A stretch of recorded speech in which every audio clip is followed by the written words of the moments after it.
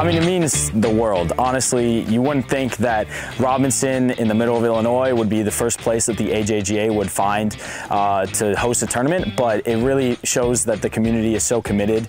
I mean, we're out here, 20 plus volunteers helping us fill divots before the tournament starts, 6 p.m. on a Sunday, before the 4th of July. I mean, it's really a special night to be a part of, especially as somebody who loves care for the course as much as me.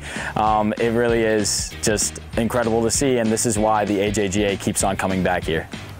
Yeah, so if anybody knows, the golf industry is obviously at its highest point right now, so it's very difficult for the AJGA to get courses for us to host tournaments on.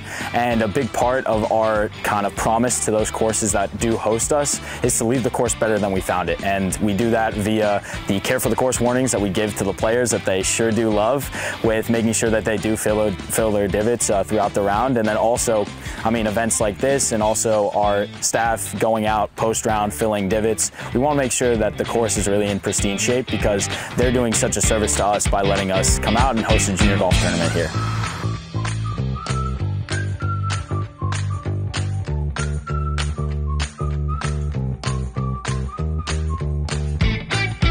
Well, we've got a great uh, volunteer bunch here at, at, our club, and we go out of our way to try to make this a great tournament for not only you guys, but for the community as well. So we just feel like we want the course to be in the best shape it can be in to start the tournament for tomorrow. So we just kind of make a little camaraderie. We all come out and we load up sand and we just, everybody in mass goes down through the fairways and we fill divots and we got some guys fixing greens and some guys fixing the tee boxes. So and we have a few beverages that go along with us, so it, you know we keep everybody rolling, and it works out fine.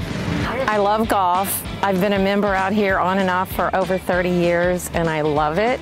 Um, and I just love to see events like, like this. want to support it. It's great for the community, and it's great for young golf. Love it. It's everything to the community. It brings in a lot of resources, a lot of money, and it promotes golf. And I love seeing young kids out on the golf course, starting their what's going to be a lifelong hobby for them and something that they can enjoy for years. So it's just great for the community.